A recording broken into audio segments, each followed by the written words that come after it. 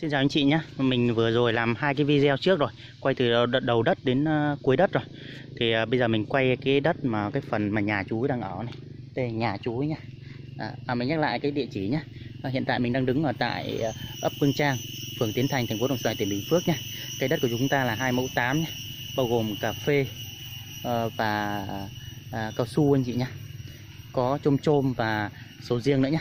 Thì cái đất này là có 100 năm 110 mét mặt đường đó, có ờ, uh, 300 mét ổ cư Đó, anh chị nhé đó đây là vườn cao su của chú này đó vườn cao su của chú này đó. mình quay thêm một cái video nữa đó. Đó. Đó. đây là nhà nhé kia là cái sân kìa đó. đây là cái nhà nhà của chú chú có nhà cấp 4 nhé Đó.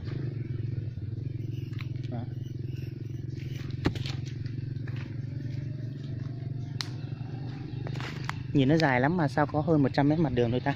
Liệu chú có có có đo nhầm không? Chứ nhìn thì rơi vào khoảng 200 mét đấy chứ.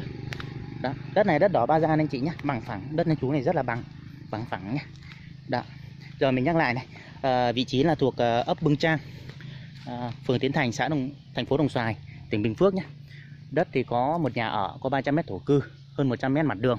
Có trồng uh, uh, là cà cà phê chôm chôm sầu riêng. Và bên trên mặt đường là có cao su nhá. Nhà ở đó.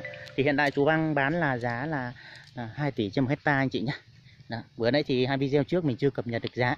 Còn video này mình cập nhật được giá rồi anh chị nhé là 2 tỷ một hecta anh chị nhé với diện tích là hai mẫu tám. Đó.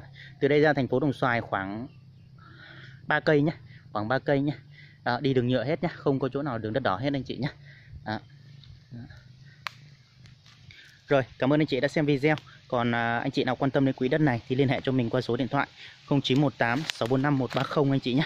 Cảm ơn anh chị đã xem video và nhớ đăng ký kênh của công ty đầu tư phát triển CVT Land để nhận được những video mới từ chúng tôi nhé. Xin cảm ơn.